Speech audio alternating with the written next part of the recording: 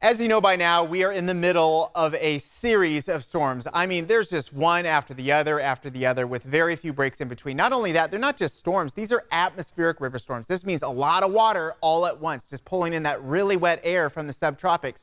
So you can imagine that it's not just one and done storms, it's the multitude of storms that just keeps adding water to the system.